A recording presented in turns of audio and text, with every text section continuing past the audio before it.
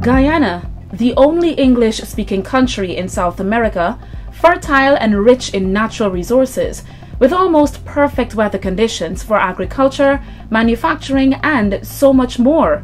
Lending itself to the Food and Agriculture Organization of the United Nations and the International Fund for Agricultural Development, facilitated by Procasur and the Government of Guyana through the Ministry of Agriculture and the Presidential Advisor on Youth Empowerment to execute a project in rural youth employment via a learning route.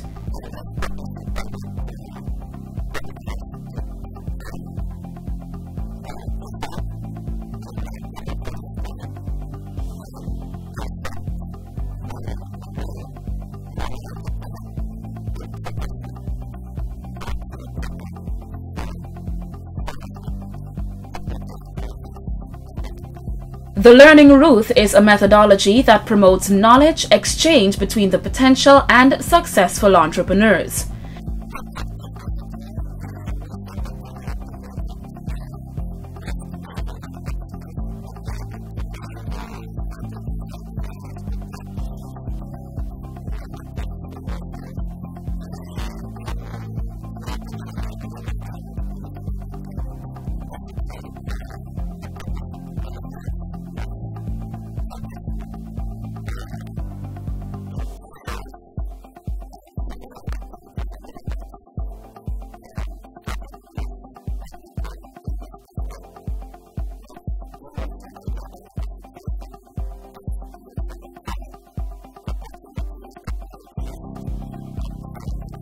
A mixture of youths from organizations across the country came together on a journey towards knowledge and inspiration. My expectations for the Guyana Learning Route would be to gain a wealth of knowledge, to share my experience as a young entrepreneur, to maybe create possible partners and to just have fun and to let the world know about my business, the pharmacy. My expectation of this learning route is basically to gain knowledge from the case study we are about to visit and also from the participants of the, pro um, the program and also to share the knowledge that I have with them.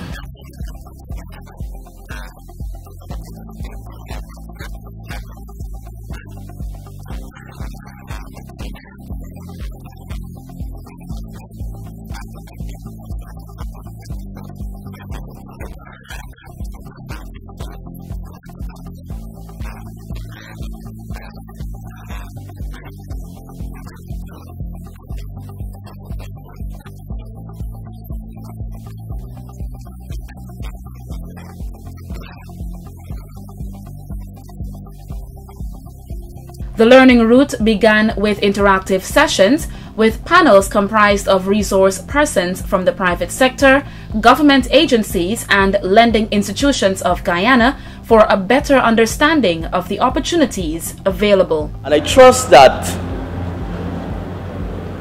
your stay and your visit to the various um, sites during the next couple of days will be one where you will be able to open, it will open your ideas and you will be able to see how things are being done in different parts of the country. There's a lot of opportunities for you on the local market to sell things. And we are not capitalizing on that. Contracts with hotels, contracts with guest houses, contracts with restaurants, etc. Training at the School of Agriculture and elsewhere at the University of Guyana, these are two institutions which I think could set you on career paths, either to being an employer in your own right or to being employed in a technical capacity.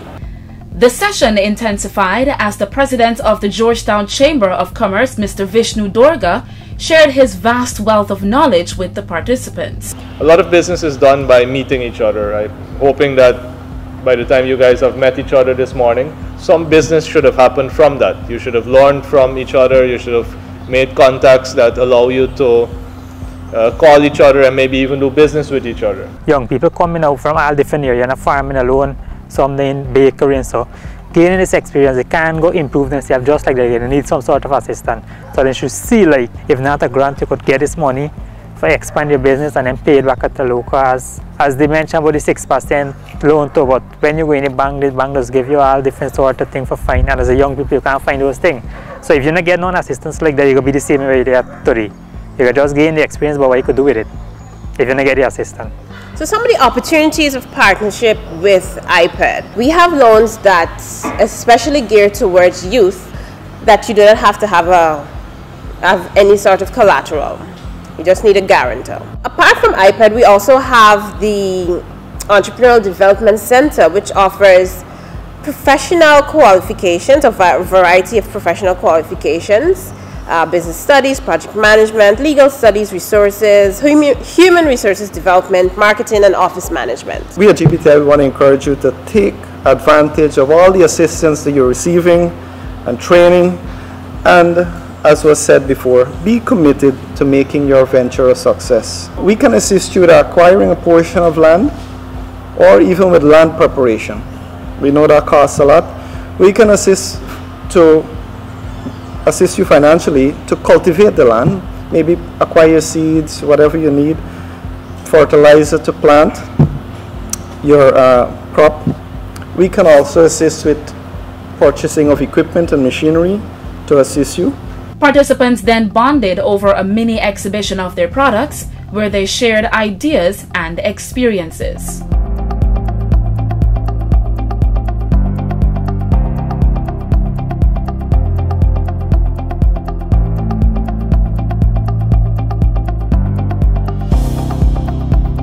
We can't get to exporting if we can't win the war on our own supermarket shelves. If nobody picks you on our own supermarket shelves, it's unlikely they're going to pick you when you're in a supermarket in, in Trinidad, Barbados, or in the US. Um, and those of you who are interested in agro-processing, produce products which are up to standard that the consumer can say, well, I feel safe enough to consume this product.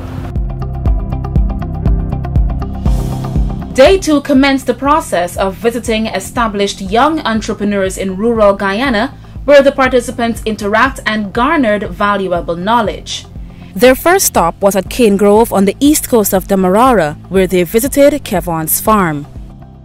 This is Kevon Kennard, our first uh, visit to, for today. So Kevon has uh, a backyard garden with shade houses and hydroponic garden. This young entrepreneur started farming with knowledge from the internet and has been very successful in his experiments with different soil amendments and crops. A lot of my stuff I get um, from the internet. Research, um, I would ask other agricultural professionals like Ann here and so on and you know conversation, uh, seek advice from other farmers and so on. But the main source of my information is uh, Google and so on.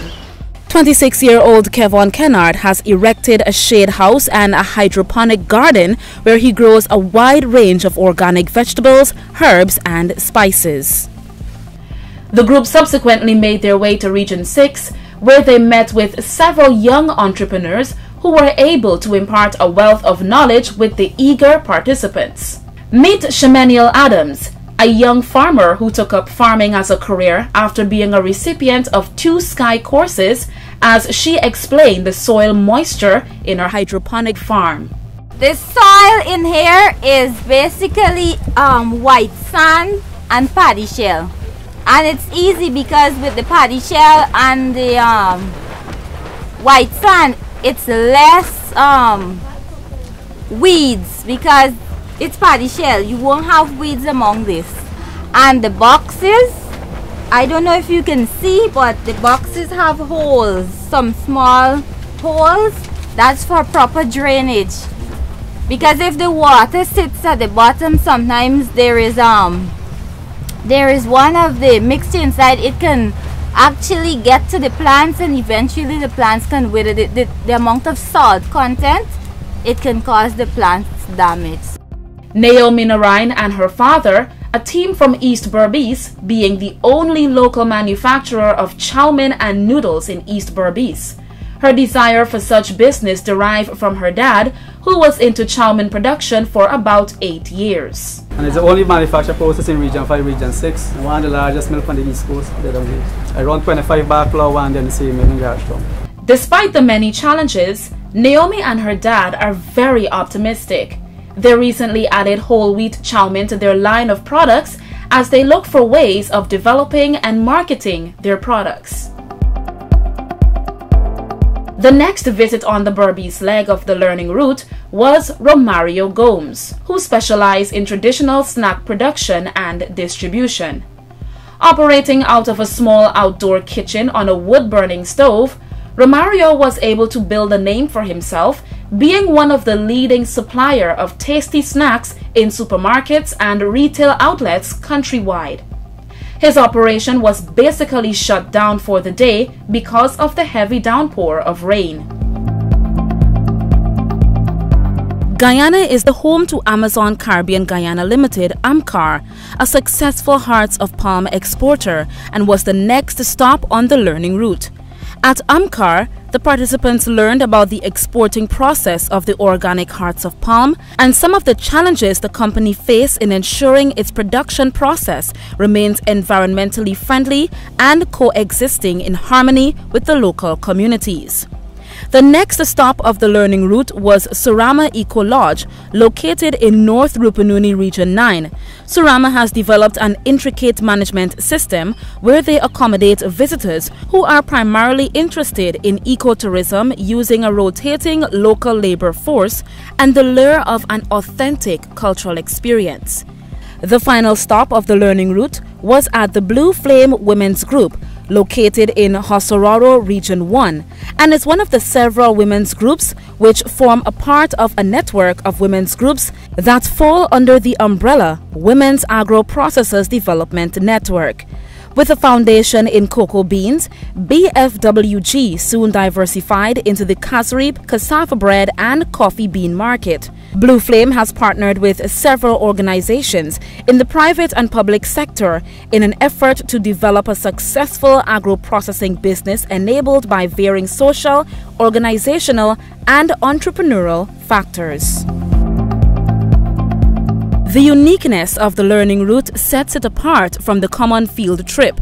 On the learning route, participants adapt and generate their innovation plans from what was seen and experienced. At the end of their extensive visit to the various host cases, the participants met for an informative innovation fair where they were able to demonstrate all the knowledge they gleaned from their experiences and observations.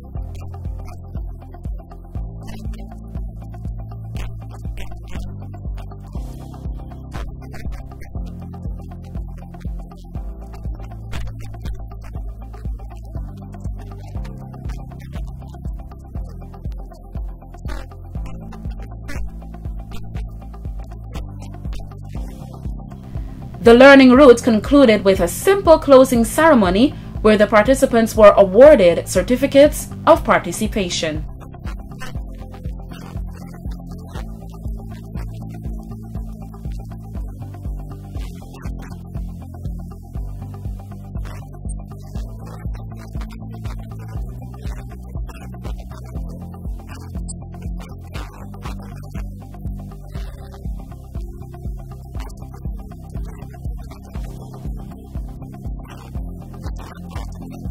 What we are hoping is that out of this will really come success.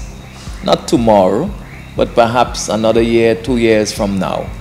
We can perhaps do a trace on each of you and see where you have come, rather than perhaps just have this as an exercise in futility.